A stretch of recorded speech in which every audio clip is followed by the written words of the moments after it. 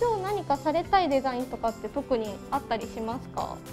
最近だったらニュアンス系とかが結構人気で。仕事を頑張れたりとか毎日が楽しくなる。そういったお手伝いをさせていただくっていうのがネイルの魅力だと思います。ドリームドリーマー。指先から幸せを作り出すお仕事。ネイリスト松山市千船町にある美容サロンアルジャーノンリトリート。美容室まつげネイルが一つのフロアに集まったトータルビューティーサロンです。ネイリストのお仕事は爪先をお手入れしたり装飾を施したりして指先を美しく見せること。山下さんは今年入社2年目でネイリストとして活躍。専門学校でネイルと出会いその楽しさに気づきました。専門学校に入ってもともと美容部員を私は目指してて入学したんですけど1年生の間に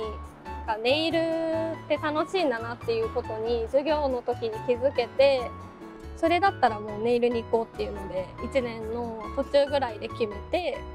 ネイリストを目指しました。山下さんは猛勉強の末ジェルネイル技能検定試験上級とネイリスト技能検定試験1級に合格することができました。教えてくれてた人が全員ネイリストさんだったので自分にはない目線ネイリストとしてのプロの目線でアドバイスをくださったのですごい勉強になりました。ネイリストは技術やデザイン力だけじゃなく施術中のお客さんとのコミュニケーションも大切なんです。お客さんとのこう仲良くなるスピードが速いのと周りをこう把握できてこうなんか準備とかいろいろこうそつなくこなしてくれる、はい、スタッフです。頼もしい存在です。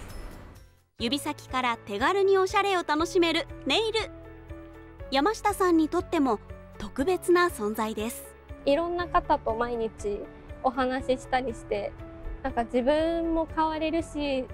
なんか人をきれいにしてすごい喜んでくださるのでなんかすごい毎日が楽しくなりましたネイルも可愛いしお話もすごい楽しいって言って毎月通ってくれるようなネイリストになっていたいなと思います。中四国で唯一の美容系総合専門学校でもある川原ビューティーモード専門学校。ネイリストやビューティーアドバイザーなどを目指せるトータルビューティー学科をはじめ美容学科理容学科など充実の3学科で学べます。見て感じて確かめることができるオープンキャンパスをご覧の日程で開催予定です。ぜひご参加ください。